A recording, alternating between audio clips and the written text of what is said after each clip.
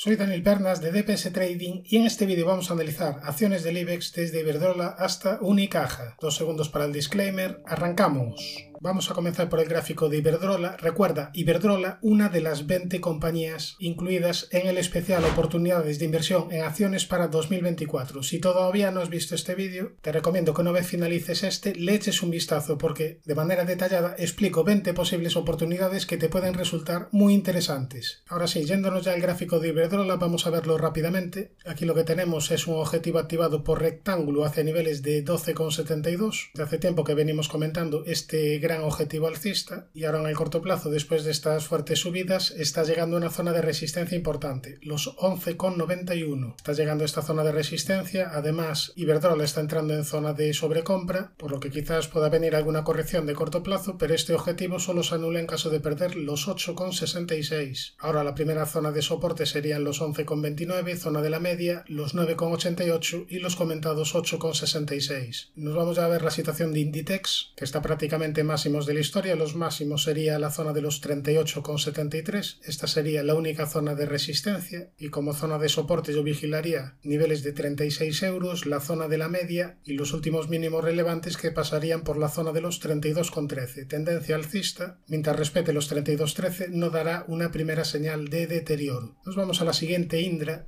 que ya hace tiempo cumplió el objetivo por segundo impulso alcista hacia niveles de 12,92, pero tiene todavía pendiente objetivo por hombro, cabeza, hombro invertido hacia niveles de 16 euros. Ya hace meses que lo venimos comentando, cada vez se va acercando más el precio y mientras sea capaz de respetar niveles de 12,56 no dará una primera señal de deterioro tendría primera zona de soporte la media y más de corto plazo esta pequeña zona de los 13,80. Nos vamos a ver la situación de Colonial, que ha tenido un rebote interesante superando la resistencia de los 5,90, a partir de ahí otro tramo de subida y ahora aquí lo importante va a ser en caso de que venga una corrección a la media si la media empieza a actuar de soporte. Por el camino tendría una zona de soporte intermedia en los 5,85 aproximadamente, en esta zona sombreada amarilla. Como primera zona de resistencia importante tendríamos los 6,76. Nos vamos a IAG, que tiene pendiente objetivo por canal descendente rota al alza. El objetivo sería la zona de los 2,33. Es verdad que en los últimos meses se está comportando lateral, pero parece que en el corto plazo hizo un pequeño suelo en niveles de 1,57. Este sería un primer nivel de soporte importante y tendría soporte intermedio en la zona de los 1,73. Como zona de resistencia, los 1,89, los 1,95 y niveles de 2,02. Nos vamos a la siguiente, laboratorio Robi, que tiene todavía pendiente un objetivo alcista por segundo impulso hacia niveles de 63,75. Tenemos aquí un primer impulso corrección y tras superar los 55,30 activa el objetivo de segundo impulso. Ahora la zona que antes era resistencia, es decir, esta zona sombreada es la primera zona de soporte importante, obviamente soporte de corto plazo, estamos hablando de niveles de 54,60 aproximadamente. Aquí te ha dejado una vela interesante el jueves, fíjate que fue a buscar esta zona y esta zona en primera instancia ha actuado de soporte. Por tanto, objetivo activado alcista en laboratorio Robbie, lo más probable es que vaya a cumplirlo. Seguridad no hay ninguna, no hay certezas, pero las probabilidades están a favor para que vaya a buscar los 63,75. En caso de perder esta zona sombreada azul, después podría encontrar resistencia en la zona de la media y en niveles de 46,78. Además, si nos vamos al gráfico semanal, fíjate que este último rebote viene desde una zona de soporte importante, zona de la media de 200 sesiones. Desde aquí, el precio ha reaccionado alza y de momento nada hace indicar que las subidas han terminado. Bien, nos vamos a la siguiente, logista. Vamos a ver gráfico diario. Aquí te dejo una vela bastante potente en sentido contrario, después te superó la directriz bajista principal y por último confirmó mejoría de corto plazo tras la superación de niveles de 23,46. Ahora con esta subida está en una zona de resistencia importante, zona de la media. Veremos si es capaz de dejarla atrás y que empieza a actuar de soporte. Por tanto, zona de resistencia a la media y un poquito más arriba el entorno de los 24 60 esta zona sombreada azul. Nos vamos a ver la situación de Mafre, que se encuentra en tendencia alcista, realizando máximos y mínimos crecientes, con primera zona de soporte los 1,95, después la directriz que viene uniendo mínimos y niveles de 1,82, primera zona de resistencia los 2,05 y un poquito más arriba los 2,08, 2,09, resistencia de máximos históricos. Nos vamos a Melia, que ha tenido una semana bastante interesante, dejándote una vela bastante positiva en la zona de la media y después la vela del viernes también es bastante impulsiva. Tras estas velas todo indica que continúa el rebote, al menos para ir a testear la siguiente zona en los 6,32. En caso de superar los 6,32, el siguiente escalón estaría en el entorno de los 6,55, aquí donde previamente te había dejado un hueco bajista. Primera zona de soporte, la media, y niveles de 5,80. Fíjate que esta zona antes era resistencia y aquí frenó el precio. Después ya tendríamos como soporte los 5,60 y por último niveles de 5,06. Nos vamos a Merlin, que acabó anulando el objetivo por doble techo que teníamos marcado. Eso sí, ya la semana anterior decíamos que había mejorado su aspecto técnico tras superar la zona de resistencia de los 8,40. A partir de ahí te dejo este hueco alcista y continuó el rebote anulando el objetivo por doble techo. Ahora tras estas fuertes subidas está empezando a entrar en zona de sobrecompra. Tendría primera zona de soporte el propio hueco alcista, la zona sombra roja en niveles de 8,40 y la media de 200 sesiones que ya está bastante alejada del precio. Como resistencia los 9,75 que además justo coincide con esta zona. Fíjate, coincide con los mínimos del doble techo donde aquí te había dejado el hueco bajista a partir del cual se inició toda la caída del coronavirus. Por tanto, esta es una zona de resistencia importante. Bien, visto Merlin, nos vamos a Naturgy, que en el medio largo plazo tiene tendencia lateral, lateral alcista, Ahora mismo está atacando la zona de resistencia de máximos históricos. En caso de superarla, ya entraría en subida libre. Y la única resistencia que le quedaría por el camino sería esta directriz que viene uniendo máximos. Por el lado de soportes, yo vigilaría la zona de la media y de 24,44, estos últimos mínimos. Si nos vamos a red eléctrica, esta semana ha cerrado la primera zona de resistencia importante, esta zona sombreada azul,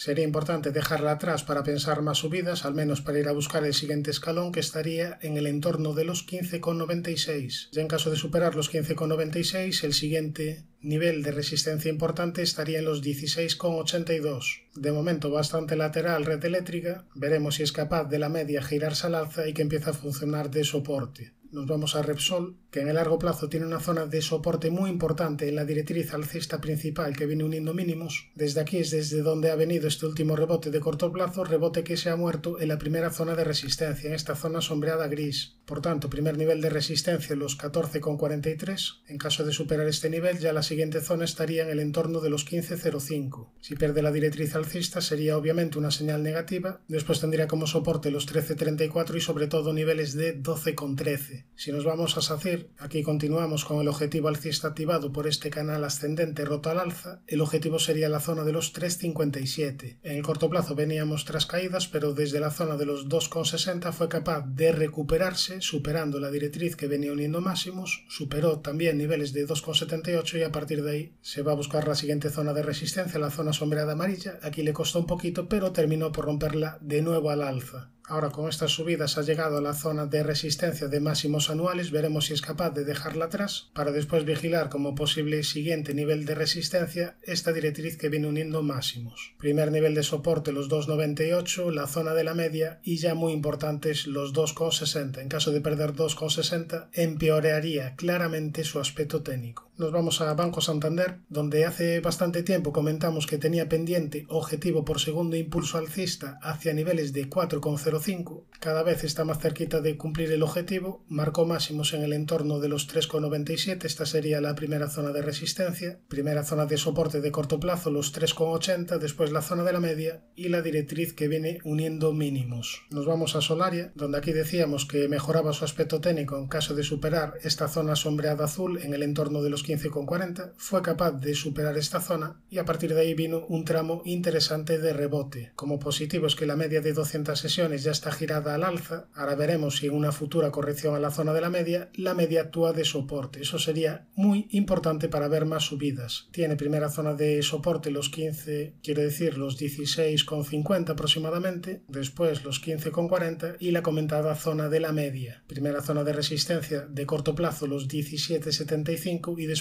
ya niveles de 20,35. Nos vamos a ver la situación de Telefónica, donde aquí comentamos un nivel clave que era la zona de los 3,40 desde aquí fue capaz de reaccionar el precio al alza y con esta reacción ha llegado a la zona de resistencia importante, zona de los 4,09, 4,10. Superar esta zona obviamente sería positivo, como primera zona de soporte tendríamos la media y muy importantes los 3,48. Mientras sea capaz de respetar 3,48 no dará una primera señal negativa telefónica. Ahora nos vamos a Unicaja, que hace tiempo había cumplido objetivo objetivo por pequeño doble suelo, pero tiene todavía pendiente objetivo por triple suelo hacia niveles de 1,27. Eso sí, la forma de activarlo no fue la mejor. Ya lo dijimos en su día que esta vela con sombra superior nos marcaba una resistencia importante en los 1,10, 1,11 y de momento no fue capaz de batir esta zona. El comportamiento relativo respecto a otros bancos está empeorando, la media de 200 sesiones está plana y tiene primera zona de soporte los 0,9470, después la directriz que viene uniendo mínimos y niveles de 0,8775.